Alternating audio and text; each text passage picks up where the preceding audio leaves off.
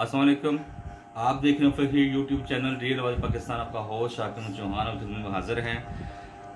Breaking news ये देना चाह रहे हैं आपको कि शहबाज गिल को जिस तरीके से अडियाला जेल में मारा बिटा गया है। इमरान खान के बकौल के उसे बहुत मारा गया है। अब वो पकड़ धकड़ की जो तहरीक है, उन्होंने उनकी पंजाब में हुकूमत है, उन्होंने पंजाब में शुरू कर दी है।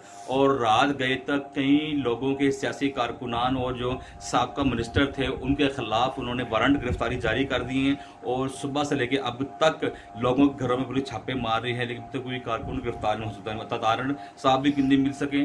राना मशहूद और इसके अलावा और काफ़ी लोग हैं जिनके पीछे पुलिस चढ़ी हुई है और पंजाब के गिरफ़्तार करने के लिए तैयार है। लेकिन कहना यह है, उधर फेडरल की हुकूमत जो है वो शबाज शरीफ के अंडर आ रही है तहाजी के अंडर आ रही है। वो उनका कहना मान रहे हैं, इमरान खान की हुकूमत जो है पंजाब में आ रही है, इसलिए वो पंजाब की हुकूमत, उनका कहना मान रही है। अब ये पुलिस दो हिस्सों में डिवाइड हो चुकी है। अब वो किसका कहना माने, किसका ना कहना माने तो उन्होंने ये भी कहा कि जो पंजाब में इनका कहना नहीं मानेगा, उसे उस उस पुलिस अफसर को फारग कर दिया जाएगा और कई पुलिस अफसर फारग हो चुके हैं। अगर इसी तरह ये जैसा चलता रहा तो इसी तरह फेडरल से जो इमरान खान के पुलिस वाले जो नवाजे गए थे उनकी ने वो फारग हो जाएँगे।